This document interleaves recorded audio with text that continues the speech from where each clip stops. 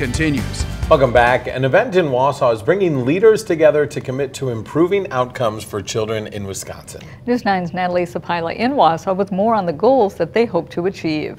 I'm here outside the Jefferson Street Inn where state, tribal, and local leaders are meeting to discuss how best to support children and families at risk of mental health and substance abuse issues. Guests heard from experts as well as local leaders and parents about their experiences with the current health services in the Badger State.